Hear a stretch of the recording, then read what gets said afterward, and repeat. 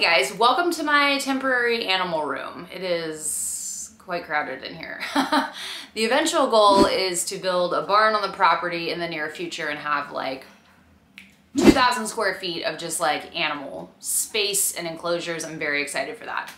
Anyways, until then, it will be on sitting on a door behind me and other random things. So I'll probably give you guys a nice tour once the barn is built or maybe before then. It's just not super impressive in here. It's kind of like messy like this. I've got this on sawhorses. um, okay, so today's video is all about dubia roaches.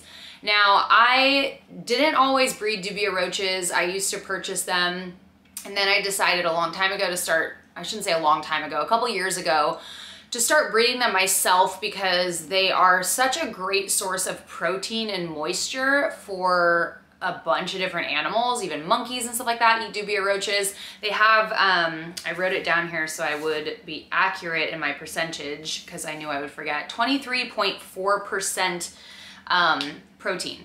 So there's very few insects that come near that and they're relatively easy to keep. And if you have a lot of different reptiles like I do, that need different sizes of prey. It's also really awesome to have a dubia roach colony because I have baby nymphs that are small that my leopard geckos can eat or my crest gecko can eat. Um, but I also have larger ones that my tegu could eat if she would eat insects. um, my bearded dragon can eat, my bullfrog can eat. So that's a really great positive of having your own dubia roach colony because you can you have a size for every animal that you possibly have. I mean, I even feed my dubia roaches to some of my uh, feeder anoles. They're I call them that because I purchased them uh, because they were feeders and I gave them a second chance at life and now I just keep them as pets. But pretty much every animal that I have that eats insects, including my chameleons, um, I feed dubia roaches too. So it is a lot more affordable in my opinion to care for a dubia roach colony than purchasing them because they can get pretty pricey. I read some things on the internet about them being pretty affordable to buy, but they're really not. So, um, I mean, not my experience anyway. Another thing about uh, having a dubia roach colony that really helped me out was during COVID. I mean, I know still COVID is still going on, but like in the beginning of COVID, um, really I couldn't get my hands on any, any dubia roaches. Like I needed to add more to my colony, but I had to make do with what I had and thank thankfully, like I was having success with my dubia roach colony to an extent. I definitely needed more to add to it, which is why I was looking for them. But when there, if something should happen like that, then, you know, you're totally prepared. You have a colony that you can feed off the adults if you need to. Hopefully you don't have to. Oh my gosh, one time I had a dubia roach colony and someone was house sitting for me while I was visiting some family in California and I came back and they had fed off my entire roach colony. I had no adults left. Um, now you can tell the difference between adult dubia roaches and non-adult dubia roaches by two things. The males have really nice long wings. They cannot fly, so don't worry. Um, and then the females are very, very shiny and they have these like little baby looking wings. Now, I don't know all there is to know about dubia roaches. So this video is gonna be basically me showing you how I set up my new um, cage for them because this one is due for a clean. And I'm gonna kind of go over like the, this, the things that you need to keep a successful dubia roach colony. Now, a lot of this will vary a little bit depend on, depending on like where you live, how humid it is, how hot it is. Um, so I'll kind of go over all of that as well. And another great thing about dubia roaches that I wanted to mention is that it really um, it simulates a good like hunting behavior like it gets like your reptiles in the hunting mood because if you flip dubias on their back that's how I have to feed them to my uh, bullfrog because her aim is like so bad but if you dip it, flip them on their backs usually they'll like flail around quite a bit or they play dead, whichever one. Uh, when they flail around a bit, your reptile or amphibian is just like, oh, hell yeah, like let me get on this. And it, it gets them into their hunting behavior, which is awesome. So female dubia roaches live to 20, around 24 months and then males live to about 18 months. So a little bit different there. The gestation period for a female is 65 days. And then after she, she basically will have an egg hanging out of her butt. I just, I just, oh, there's some uh, tomato hornworms under there. I left the lid off the other night and they were all over my freaking house. And I just found two more down there. Well, what a waste of money. Um, the female will pop this little egg out of her butt and um, the males will fertilize it or one male, I'm not really sure. And then she will um, pull it back inside her 65 days later, have the babies. And then as soon as she's had those ones, um, she can actually get pregnant again right away. With a dubia roach colony too, you want to have about one male to every five females and currently I need some more females and I'm going to actually leave you guys a few links of places I get all of my supplies and then also the actual dubia roaches themselves. There are three different places that I purchased them from. So I'll leave those, I'll leave that for you guys below.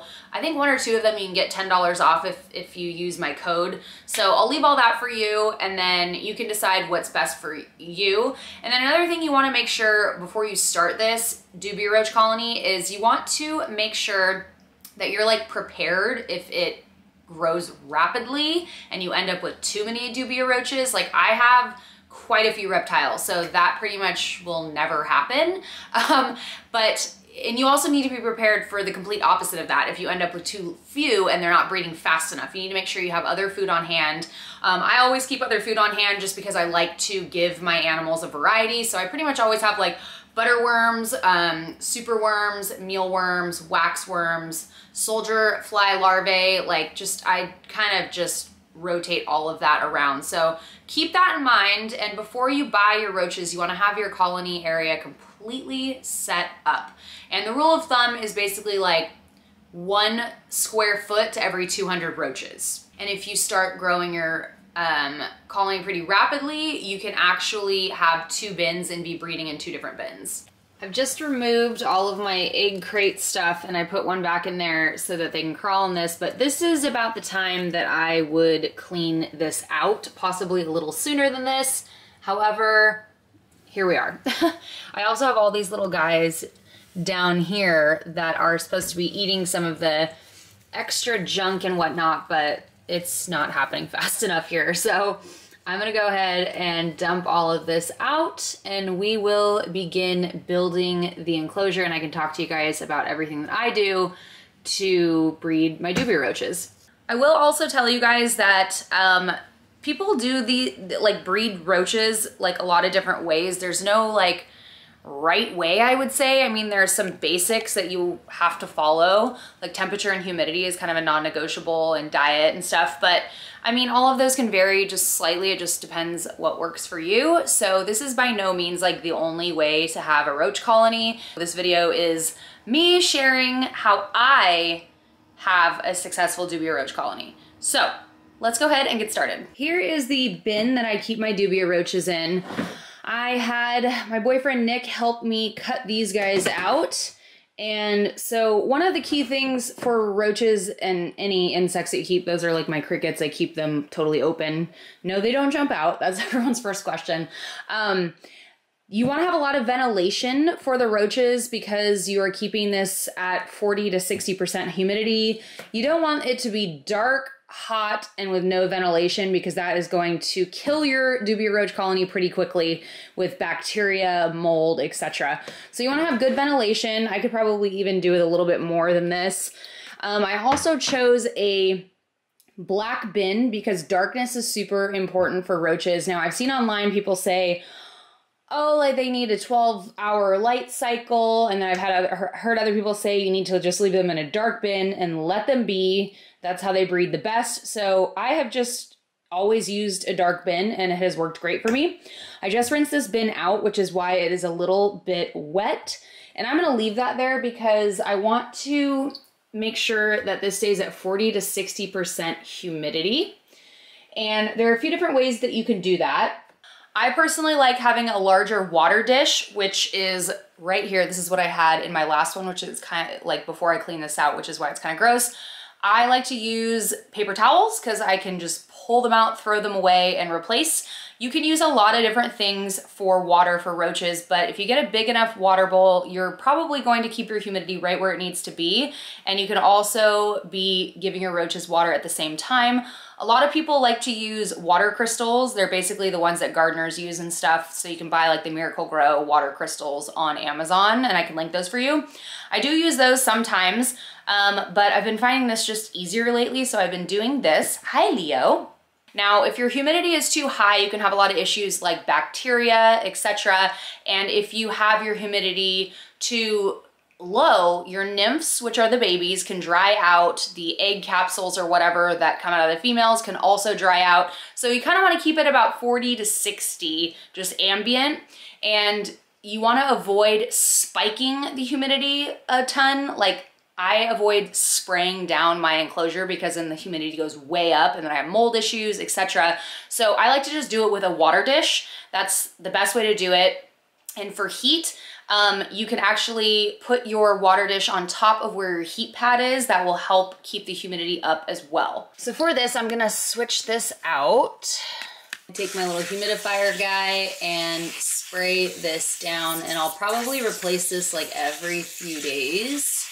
Another reason why you wanna keep the humidity right too is because your roaches need to molt and grow and they can't really molt very well if it's too dry. I am currently not using a heat mat because it's so warm right now where I'm at. So I'm gonna be just putting this in there as usual, and then I will put my food over here and my egg crates over here. Now for heat mats and things like that, you're gonna wanna keep your temperatures around 70 to 80 degrees in here. Anything above 85 can cause like for like fertility to decrease and it'll cause stress for your roaches some people like to use lights for the heat for the roaches. I don't like to do that because I I just think it dries out the enclosure just way too much. So I personally like to put a heat mat and if it's on carpet, I'll set it just right below so I'll do that in the winter and then I usually put the water right on top of where that heat mat is and it will keep the humidity up in here as well, but definitely keep an eye on your gauge. Another key to water is if I were to just fill this up with freestanding water, most likely I would wake up and a lot of my roaches would have drowned. So you wanna be able to, you wanna make sure that this isn't too slick where they can't climb up it. Um, you wanna make sure that it's not just freestanding water because they will actually drown. I personally don't like to use any substrate in my enclosures. I find it just way more difficult to find the babies and then the roaches in general. They burrow under there. It's very hard to clean. Um, I just keep it just like this. They don't really seem to have an issue with it. My roach colony is doing just fine. And I'll also link you guys where you can get your egg crates. That's my favorite thing to put in here. And they do kind of break down over time. Mine are over here. My roach colony is currently in here right now. So that's about how many I have. So we'll slowly start putting them back in here.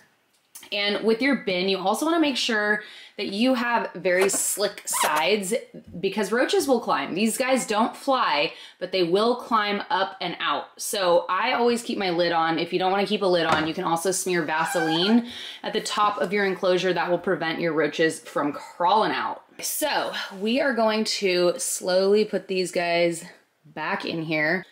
I like to lay these this way. You can do it this way, whatever you feel comfortable with.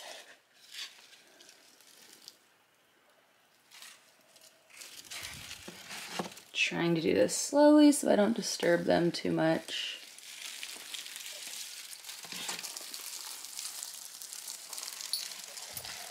All of this stuff right here, I think they call it frass. This is basically um, dubia roach poop and the nymphs actually will eat this when they're born. They'll sometimes eat some of the adults' veggies and food as well, but it's okay to have a little bit of this in there. So I'm actually gonna dump all of these guys back in here and leave that frass because the babies will eat it. But there's also quite a bit of that left over on my egg crates. Also, my chameleon literally just fell off the side of his screen. I don't know why he's got to climb and just fell into his little um, bowl that grabs his water from his dripper. He can't drown in it, it's very shallow, but what the heck. For food, so these were from before I cleaned out the enclosure. This is what I had for them. I'm going to be putting old fashioned oats. They get organic because they are super spoiled. I'm gonna put these here. You can also use uh, whole grain bread that they can eat. And then for the most part, you're gonna do a variety of vegetables and fruits for them. No, is not for you. And so I cut these up a little earlier. I will change these out about every other day. And this obviously can stay a lot longer unless it gets too moist and moldy in there. So I'm gonna kind of set this up for them. Um, you're gonna wanna do your own research outside of this. Um, I'll link a few resources for you guys in the description box, but if you do too much protein for roaches, it can actually be toxic. And you just want to keep in mind that you're gut loading these guys and you are essentially feeding your reptiles what you're putting in here. So if you're putting rotting, disgusting, gross food in here, then that's essentially like what you're feeding your reptiles. Roaches aren't gonna magically eat disgusting food and then be super nutritious for your reptiles, in my opinion. So um, you're gonna wanna, you can even keep like, I keep a bag in my fridge of like extra scraps and different things like that, like so that when I'm cleaning this out and giving them more food, I can basically go back to that and provide them with awesome food. Now, you're gonna wanna also do your own research because there are so many different ideas about what you should feed, what you shouldn't feed, what helps them breed faster. On quite a few uh, websites that I've read, and even a site that sells roaches basically says like, one day we feed them potatoes, the next day we feed them sweet potatoes, the next day we do greens, the next day we do only bananas, the one day we do oranges, and then one day we don't do anything, no food at all. Um, so that works for them and they breed roaches. So I think that that's a great way to do it. The reason I don't do that is because that's just way too much effort. I have all of these fruits and veggies that I keep for my other animals and my rabbits. So I have tons all the time, but I don't always have those specific things to keep that only this one day and only that the other. So I do like to feed a lot of oranges, although that's not the only thing that I feed. I'll definitely put a few slices on top and they will eat it so fast. It's like literally gone within like three hours. Supposedly oranges do help your colony breed faster and it, it, I don't know what it is about it. You'd have to read about it, but that's basically what I'll do. I wanted to pop this clip in here real quick while I'm talking about feeding because I went to the vet yesterday and everyone's fine, but I did go over kind of how I gut load my insects and everything and the vet told me that he recommends this. This is the Mazuri High Cal Cut or gut, sorry, gut loading diet and this was about $22, I think. So it's not the cheapest, but there's a lot in here. And he recommended providing this. Like if you're buying insects at the store to feed and you're just, you're not keeping them and like breeding them like I do with my roaches and stuff, you want to do it within 48 hours before, um, you know, you, you feed them. But I'm going to put this in all my enclosures. He told me that kind of like the veggies and the oat and all that that I'm doing, even though that's what it says all over the internet to do, he said that that's just not quite enough calcium. And this will really, really, really make my insects super healthy um, and even healthier for my critters. So I just wanted to share this with you guys because I didn't know anything about this product before yesterday. So um, I think it's kind of hard to get, but you might be able to buy it online. I bought this at the vet office, so if you're in San Diego, I'll put the name of the vet in the description box because I can't remember it. It's like Pet Hospital Penasquitos or something like that. But they're really, really knowledgeable about reptiles, which is awesome. So just wanted to share this with you. So I'm going to continue doing the diet that I have been doing that I'm talking about in this video, but I'm also going to offer this as well. We'll put this in there as well. And I try to keep the food off of the uh, heat mat if I'm using one because it will cause it to rot faster. So this is a good idea of what you know a good setup looks like. Now every square foot like i said should house about 200 roaches. And you know what i tried in the past? I tried keeping all of my nymphs and all my babies in a completely separate bin and then put only my adults in a bin. And honestly i didn't notice it changing anything. One of the reasons why i did that so i wasn't stressing them out when i came in here to be like all right who am I feeding off today? And then the adults would get all stressed out and run around for their lives. But I'm just very careful when I come in here and try not to disturb them too much. But to each their own. If that works for you, great. Now, if your colony starts to overgrow, then you can, I mean, that's great, good for you. You're doing something right or many things right. You can start another bin. So I might actually do that because I've got quite a few roaches in here and I, I have not counted but I would guess that I'm probably needing to give them all some more space pretty soon here. A lot of these are full of roaches, um, but my colony is doing really, really well. There's a lot of little babies in here, as you can see. So I absolutely love breeding these guys and I'll check back in a little bit and show you guys what it looks like when they are all munching on all this. I like to catch them eating all the fresh stuff that I put in there. Um, so we will go ahead and put the top back on and check back in a little bit.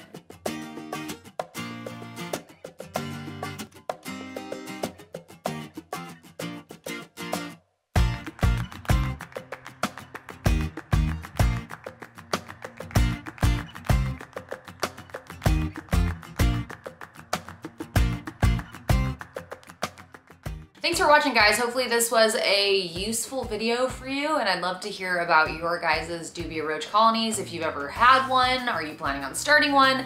Again, I've put all of the links that I can remember or talked about in this video in the description box, so check that out. I also linked a bunch of places you guys can buy feeders and roaches, etc. Um, also, like I'm making some lists of like content I want to put on this channel, so if there's anything specific that you'd like to see, please let me know. There will be some good like cage build videos coming up because I'm pretty much upgrading almost everyone in this entire room as we go and as I build. It takes me a little while to build out the enclosures because I like to do the backdrops and all the custom fun DIY stuff, but um, in between there, there will be some other fun DIY videos that I've already got up my sleeve. So hopefully you guys enjoy those and let me know if you guys have any ideas or anything that you'd like to see on the channel.